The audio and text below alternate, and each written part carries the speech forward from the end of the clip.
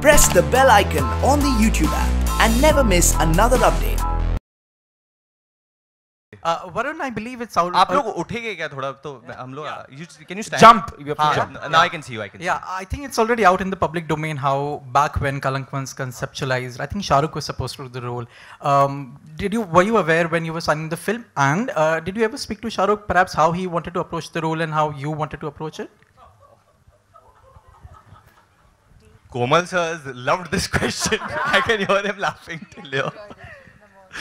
Um, honestly, I never spoke to him how I should approach the role, but I was obviously very aware that Shahrukh sir uh, and the other star cast that was supposed to do this film. At that time, Karan was supposed to direct this film. Uh, Mr. Yash Johar was producing it. और ये बहुत वक्त बीत गया है इस बात को और uh, उसके बाद करण ने ये ये फ़िल्म बनाने का जो थाना था उन्होंने छोड़ दिया था ये आइडिया क्योंकि his father passed away and then he didn't want to revisit the story at that time but उनके दिल के बहुत करीब थी.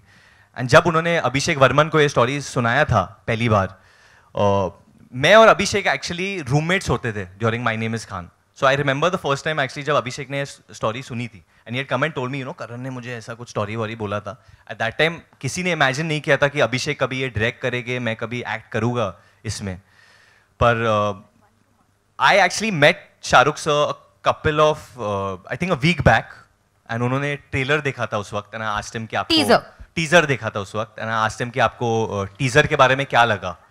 And he had some good things to say about that और वो काफ़ी खुश थे। आई सेड कि मैंने वो uh, सूरमा वूरमा भी लगाया है सर क्या लग रहा है आपको? So he smiled at me I think he saying good you working hard and doing these roles these are roles that will get you closer to the audience तो उतना ही बोला था।